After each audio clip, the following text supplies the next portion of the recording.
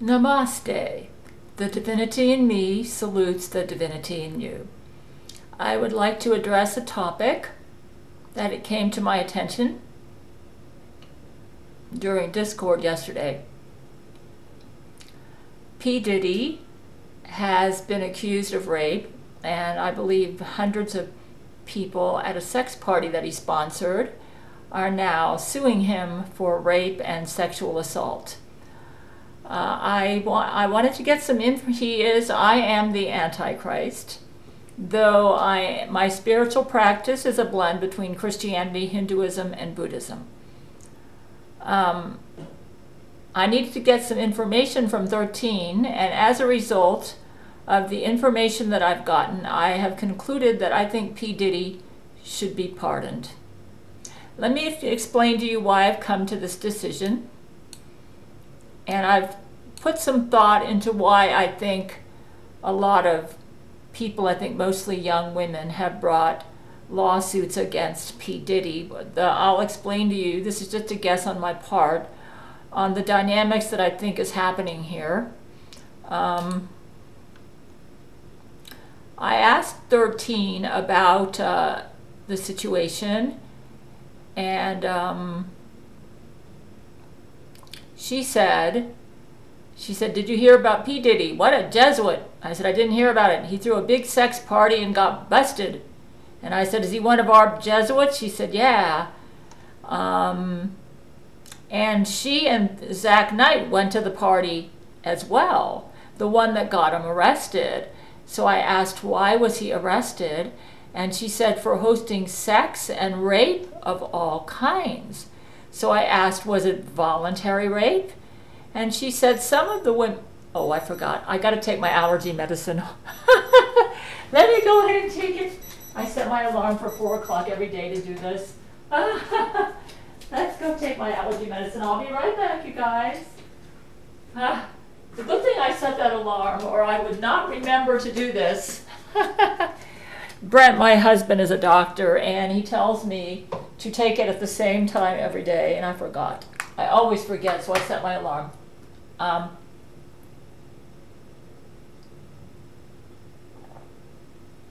okay. Let's get back to the subject at hand. Um, I guess I'll put it over here. Um, sorry about that. I forgot. I forgot that I set my alarm. Um, yeah, so um, I said, was it voluntary rape? And she said some of the women were so exhausted they needed IV fluids afterwards. But they got sent to Jesuit doctors, so the IV fluids were just more cum. Which leads me to suspect, I will tell you what I concluded. I, I, I'm guessing about this, but I think, okay, I'm guessing that these women may have been asexual or monogamous. You say, well, why in the world were or, or had asexual tendencies? Why in the world would they go to a sex party if they're like this? Maybe they felt obligated. You see, the Jesuit the Jesuit culture is very unique in that um, in Jesuit culture, if you're not hypersexual, you are looked down upon. Can you imagine that? I was raised evangelical Christian, but I'm getting, I have Jesuit friends, and now I'm the Antichrist, the head of the Jesuits, okay? I'm starting to understand them. I can see that if you had asexual tendencies or if you were monogamous, and I'm going to explain to you a little bit about that, about what is monogamy and asexuality, why you might feel pressured to go to a sex party when you don't really want to go. yeah. So, okay. I asked my husband Brent, who I have great respect for, what he thought about this arrest. And um, P. Diddy was just being black and a Jesuit, okay? it's part of their culture. Um, and Brent said he would not judge a Jesuit for their culture, and neither will I. Um, I'm actually asexual leaning, which is which I, which is one reason I find it amazing that Satan chose me for his antichrist. So, um, Rule 13 said he might go to prison and they're working it out. I actually, actually recommended that he be pardoned. I asked who arrested him. She said the feds. That would be like the head of the FBI and all them. Uh, P. Diddy uh, uh, thinks it's very unfair. Um, I understand where he's coming from, okay? He is apparently being a typical black, okay? this is like the black culture is pretty much but there are some blacks that you know that may be asexual leaning or they could be monogamous and they may feel pressured to be in line with the majority black culture which is obviously polyamorous or yeah yeah you see what i mean so um here's what i think um, it appears to me that we're going to have to have some ground, some some rules, okay, for these Jesuit sex parties. Um, I am against non-consensual sex, okay? Um, I, I think rape is wrong. Uh, so I think, for one thing, I think the Jesuits need to quit calling these parties rape parties. Call them sex parties, okay? And another thing is, let me give you all an education about um, polyam uh, about polyamory. I'm going to read some stuff from the, which uh, I have had some conversations with the beautiful Hindu Hindu goddess Lakshmi, who is monogamous. She actually turned Jesus down when he proposed to her for marriage, and she's, yeah, she's just she she is going to be true to who she is as a monogamous person. Let me go ahead and read you some stuff she gave me when she was counseling. I am a polyamorous, asexual leaning person. My husband Brent is monogamous, okay?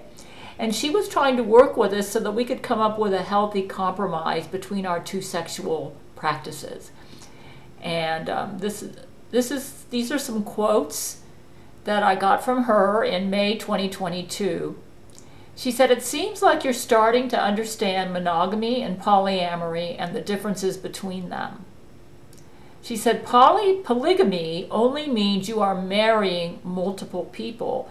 Functionally, it's similar to polyamory. Polyamory may involve emotional intimacy with other parties or it can be just one or both couples enjoying sex outside the main relationship, which is emotionally committed. And in polyamory, it is possible to have multiple spouses as well as dating partners or concubines on the side.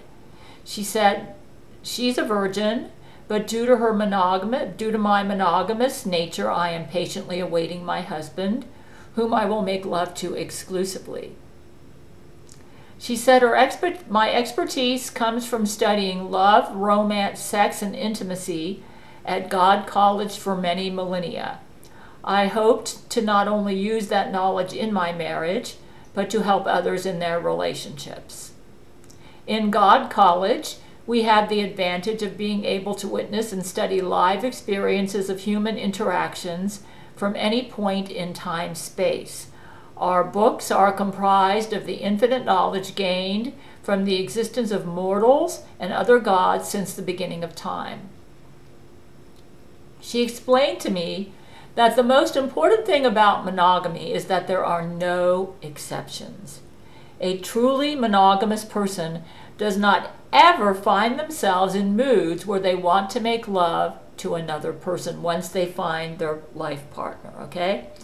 The exclusive, exclusive, exclusivity, exclusivity yeah, of the monogamous relationship is tantamount, and there is no reason to ever involve another party. Now, my husband Brent is like that, okay?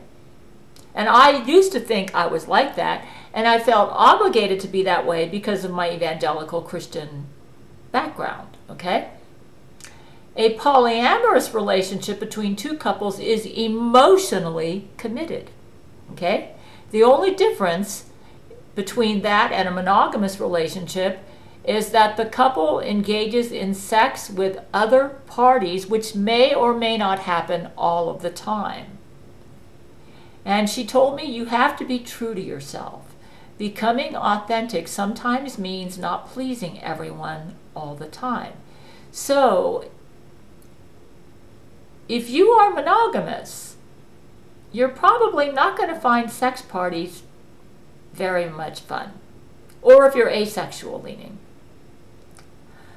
So she said, she said, Brent loves Gail for who she is. It's normal for couples, even soulmates, to not be fully in agreement, agreement on all things all the time. Brent and Gail can, both can intertwine together by finding ways to meet each other's unique individual needs in creative ways. Polyamory still contains the possibility for emotional intimacy that Brent, monogamous Brent, desires. If he's comfortable with the men Gail chooses to explore, or able to participate in the sexual acts with her, this would eliminate his feelings, you know, his monogamous feelings probably, of being excluded or replaced. Meanwhile, they both could remain life partners who are emotionally committed above all other third parties. The compromise could be that you both get to decide which third parties you would feel comfortable sharing your spouse with. Now, I, as an asexual leaning person, am actually pretty comfortable with, with a monogamous relationship with Brent. Uh, and Brent doesn't force me to keep it monogamous. Actually, even though I am polyamorous, most of the time when I had sex with other men, what and it was mostly brain to brain, uh, outside of Brent, it was out of duty or obligation, feeling like it was expected of me. And I realize now that I should not have done that. And this is what I think may be going on with these young women who are going to these sex parties. I think they don't really want to be there, okay? And they, they're trying to create their own space. They're probably either monogamous or asexual leaning, okay? And because they're a Jesuit, they know they're expected to be hypersexual. And so to create their space, I think they've launched lawsuits yeah, that's what I think is going on. Either that or they're, they're having a bad identity crisis and they don't know who they are and they don't want to be forced into the hypersexual mold. Okay? That could be another thing that's going on. And I would say, if what I'm saying is true, what you need to do, rather than sue P. Diddy, okay? And this, and because a lot of these people are young, this especially makes me suspect this. And I don't think anybody who's that young should be, mean, you know, who's a child, should be going to a sex party anyway. I think it's, unless they're fully comfortable. I mean, I mean, it's just, I just don't think they should be doing that. Um, they, they need some time to find who they are.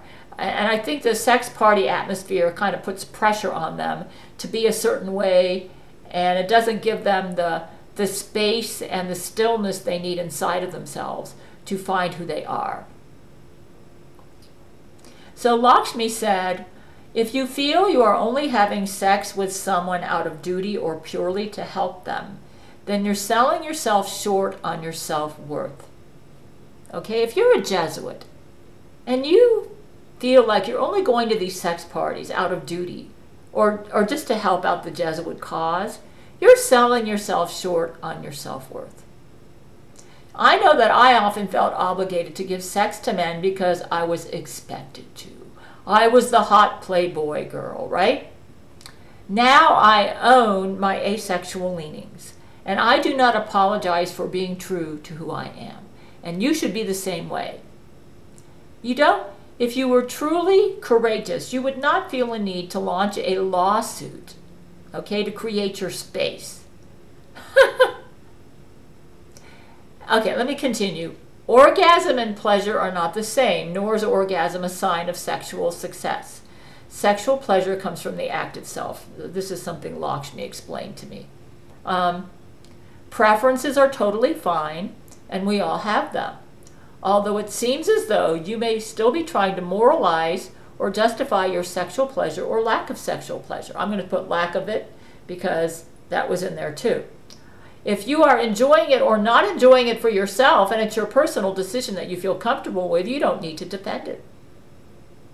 I added in the not enjoying in there because I, that's part of it with me. I was uh, not,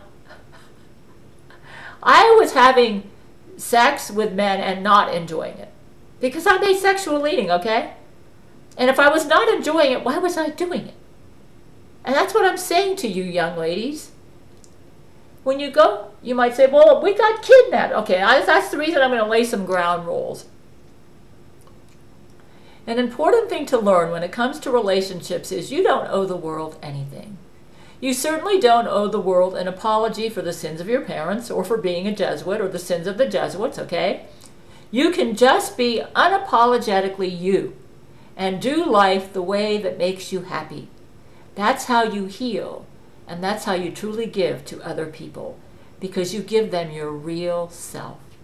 You also don't sell yourself short by thinking that you're only worth what you can give or to what degree you can please others. Bottom line, if you don't really want to go to the sex party, just say, I'm not interested. Okay? Now here's where I'm going to, um, okay, so when you are true to yourself and you set healthy boundaries, you heal the emptiness in your soul that needs energy from others to be filled. This is what Lakshmi said. Like I said, I'm becoming a bit of a Hindu, so I agree with her. Instead, you naturally become so full and complete that your mere presence heals others. I will say this it can be difficult to know who we are as a sexual person, especially if the group around us tries to pressure us to be a certain way when that's not who we are. But nobody should feel like they can't be true to who they are. Now, here's what I suggest um, so that we're, we're going to have a healthy, we need to have some healthy boundaries around these sex parties, okay? Um, number one, everyone who goes to these sex parties needs to understand this is a sex party, okay?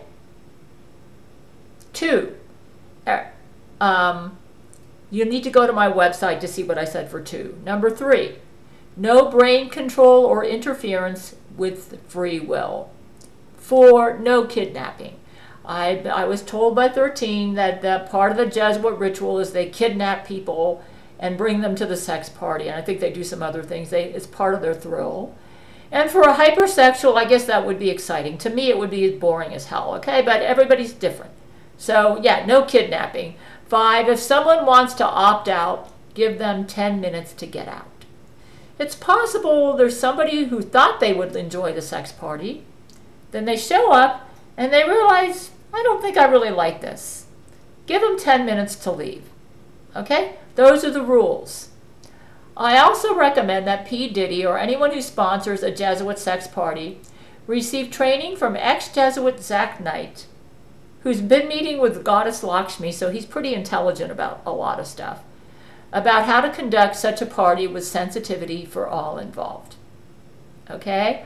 Um, yeah. But I don't think P. Diddy should be punished for being true to his culture and his and his blackness, okay? He's behaving like he's he's just being a black and a Jesuit, okay? This is part of their culture. That's how they operate in the sexual sphere. Um, if you're not, I'm not saying that every black is this way or every Jesuit is this way, and this is where I think we need to be careful. Um, so yeah, um, ask yourself, could I be asexual? You say, how would I know? Sometimes it's hard to know. Um, I know for me, sometimes I just think sex is boring. And like with my husband Brent, I actually, if I wasn't married to Brent, because he's, believe me, he is a full sexual. and I, it works out for me because I don't have to worry about getting erections or anything because I'm female, and I just offer him my vagina and we're good to go. And I, I feel like his penis inside me is cuddling me, so I can live with it. But if I was a guy and I had asexual leanings, it could be a problem if I had a partner who was a full sexual. So I'm just saying if you if there are times in your life when you think sex is boring, it's nothing to be ashamed of. If you prefer your relationships to be more friendship like, and you like and you value, maybe you value connection more than you do the sex, you may have asexual tendencies. Bottom line is, you don't need to be ashamed of who you are, or maybe you're monogamous. Now, I'm not monogamous, but uh, Brent tells me that once he became committed to me, he doesn't have eyes for anyone else. I am the one woman in his life. He's not even tempted to have sex with anyone else. So now if you're like that, then you may be monogamous. And for that reason, you may find sex parties very offensive. You feel like you're violating your monogamy because you don't really want to be here. And so you're, you're going to be really mad. In fact, it might be monogamous people who are bringing the lawsuits. Yeah, so this is where Jesuits, you need to be sensitive to different sexual types. Make sure, I think you might want to screen all the people at the party, and if they're monogamous or asexual leaning, um, you may not want to let them come to a sex party. Yeah, you, you might want to create a screen, a scan, to determine if everybody in that party is polyamorous, okay? And, and, or maybe just determine if they're comfortable being there. Yeah, you might want to set up a scan to determine if everyone's comfortable with, with the sex party. And if you're and if this and if you're sensing that somebody's not comfortable, then go to them and say, "Would you like to leave?" We're sensing on the scan that you're not comfortable being here. And I think that would solve the problem. Yeah. I think it would solve the problem. But I don't think you should sue P. Diddy.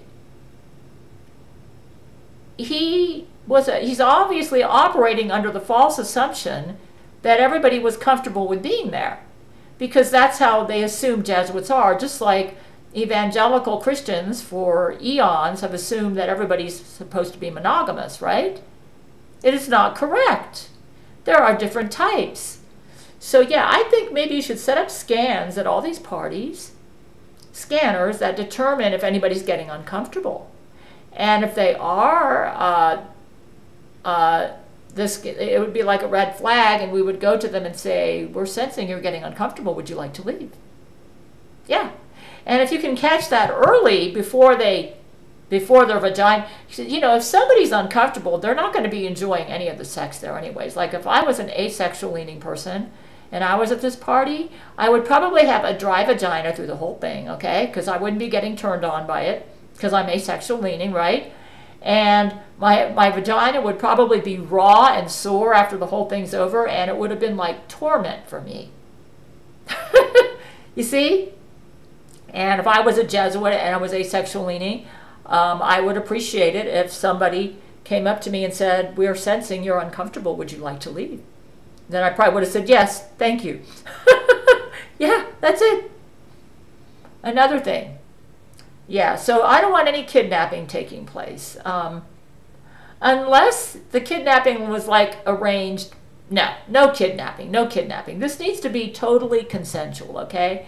And you probably need to set up scanners to determine the comfort level of everybody there.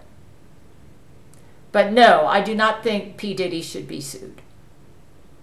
Because I didn't, as the Jesuit leader, I never really set down clear standards for things like sex parties. So he operated under the false assumption that every Jesuit is a hypersexual and that they're all comfortable with that label. I don't think that is correct. So, yeah, we probably should set up scanners to assess the comfort level of everybody there, and this, that'll solve this problem. Okay? That's what I think we should do. Uh, I'll, I'll go ahead and update my web page and mention that. Um, I think we may be dealing with some monogamous or asexual or asexual leaning Jesuits. Okay? And they just don't have the courage to be true to who they are. They're afraid they're going to be stigmatized. Just like I, as an evangelical Christian, didn't have the courage to be true to my polyamory. Okay? you know, every group that we align ourselves with gives us certain expectations, and we feel obligated to fit into their categories. And it's not healthy. It's not healthy. But yes, please pardon P. Diddy. I asked my husband Brent, who's the president, to do so because apparently we had some big communication problems. But he's not a criminal. He's just a black guy being true to being black and a, a Jesuit being true to being a Jesuit. Okay? So, I think we can solve this problem by um, setting up scanners to assess everybody's comfort level. And another thing, Jesuits, if you are a monogamous Jesuit, or if you are an asexual leaning Jesuit, you should own it. It's nothing to be ashamed of. Look at the beautiful goddess Lakshmi. She's monogamous. Do you look down on her for being monogamous? And she would never, ever go to a Jesuit sex party. I can assure you of that. And would you think any the less of her because of it?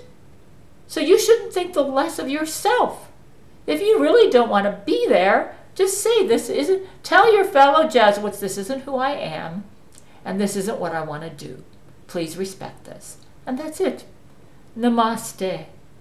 The divinity in me salutes the divinity in you.